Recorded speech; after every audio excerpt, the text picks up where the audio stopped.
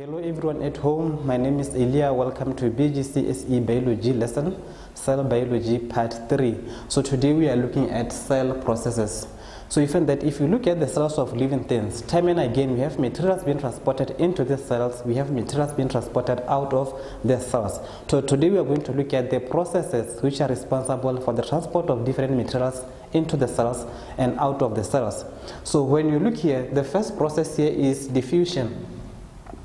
So when you are talking about diffusion, this is the movement of particles from a region of high concentration to a region of low concentration until they are evenly distributed. And then if you look at the illustration here, you can see particles being concentrated here and then they are moving to other parts where they are at a low concentration until they are being distributed. Like if you look at these arrows, the other one will go up there, the other one goes down. This shows the, the even distribution of particles.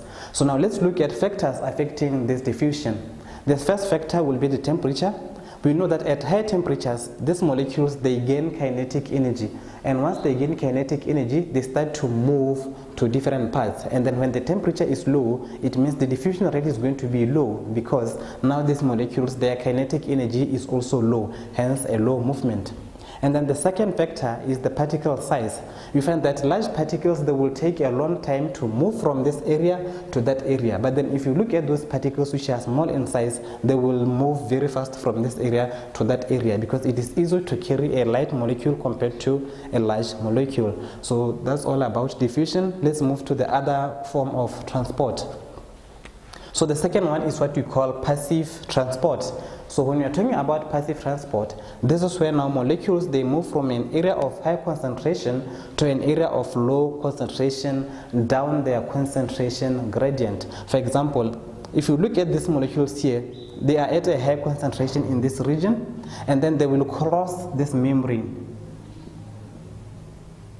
they will cross this membrane and then they will move inside where their concentration is low. So the fact that they are moving from where they are high to where they are low, we're saying they move down their concentration gradient. And remember, they are crossing this membrane. For example, think about a carbon dioxide crossing those walls of the alveoli. So that's another example of passive transport in the human body that carbon dioxide will move where it is at a high concentration, cross the walls of the alveoli then to where it is at a low concentration.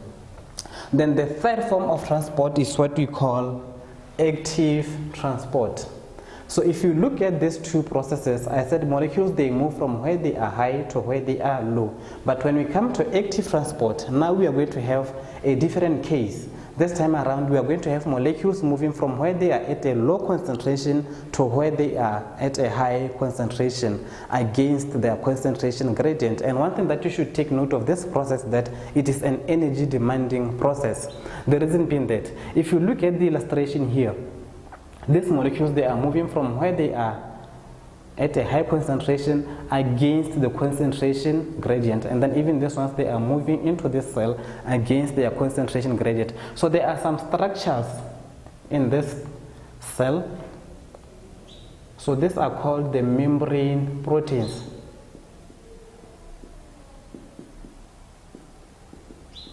So these membrane proteins, they are responsible for taking this molecule and then push it into the cell or take this molecule outside the cell and then push it also into the cell.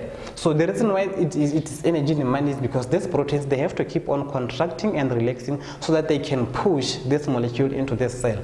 Let's take an example. If you look at potassium and sodium, Potassium always, it has to be high inside the cell and low outside the cell. But we find that because of those concentrations, we are going to have this potassium leaking outside the cell. But still, the concentration will be high inside and low outside. So we are going to have these proteins pushing back that potassium into the cell where it originates, right? And then if you look at sodium, sodium has to be high outside the cell and low inside the cell. And because of those concentrations, we are going to have this sodium leaking into the cell. So we are going to have this, this membrane proteins again pushing that sodium out of the cell, going out this time around. It's supposed to be like this. It's going to be pushed out of the cell going out. So it will be against the concentration gradient because if sodium is high here and low here. The expectation is that it should move from high to low, but in this case, it goes back to where it belongs, which is outside the cells. So that's why now the energy demanding process comes in because now these proteins, in order for them to push these molecules against their concentration, they need energy for that contraction that I talked about. Okay, so the last cell processes that we are going to talk about is osmosis. Osmosis is the movement of water molecules from a region of high concentration to a region of low concentration across a selectively or partially permeable membrane movement of water molecules from a region of high concentration to a region of low concentration across a partially or selectively permeable membrane. So you find that osmosis has a different uh, or a number of effects on our plant and animal cells. So if you look here, there's a, a general animal cell in the normal environment. That's how it appears. And then if you look here, that's how a plant cell will appear in a normal environment. Now, if you're going to expose these cells to different environments now, for example, in a solution with a high concentration or a solution with a low concentration, because of osmosis, at the end of the day, these cells are going to look different as you can see here. So let's start with animal cells exposed to a high concentrated solution. So, if you take this cell, right, and then you put it in a high concentrated solution, it means this cell has a high water potential compared to this solution. And then as a result, we are going to have the cell losing water to the solution through the process of osmosis. And now because the cell is losing water, what happens? The pressure inside the cell, it reduces and a reduction in pressure will result in this state. Look at the appearance of the cell here. So it is shapeless and then the volume has also reduced. So we say this cell is shrinked. So when an animal cell is losing water to a solution, it is going to appear like this or it is going to shrink, right? Because now the water is going to the solution. And then if you take a plant cell and then you place it again in a highly concentrated solution, it means now again this cell, it has a high water potential and then the solution has a low water potential and then as a result water move out of this cell into the solution and then this is how the cell will appear like. So if you look at those two membranes, here they are close to one another, but then here the other membrane is sort of detaching from the cell wall. And then we say when a cell like this, it is plasmolysed. Because now it has lost water, and then because of the loss of water also the volume reduces and then even the pressure inside the cell it reduces now that's when we are going to end up with a cell appearing like this now let's look what happens when we take the same cells and then we put them in a different solution. Now this cell it is low concentrated. So if you compare a cell, a normal cell, to a low concentrated solution, this cell has a low water potential and then this cell because it is low concentrated it means now it has a high water potential. Remember water molecules move from a high concentration to a low concentration. So they are going to move from the solution where their concentration is high and then they will move into the cell as you can see here and then as they move into this cell, they are going to raise that pressure against the cell membrane of this cell. And then finally, this cell is going to burst as you can see here. And then we call this bursting. So when an animal cell bursts, all the internal contents, they escape as you can see these arrows. The internal contents, they just go away and then the cell will die. The reason why these cells they are bursting is because they only have a cell membrane. They don't have another membrane which can support the pressure from the water. But then look at the, our plant cells. We take a plant cell, you put it in a low concentrated solution.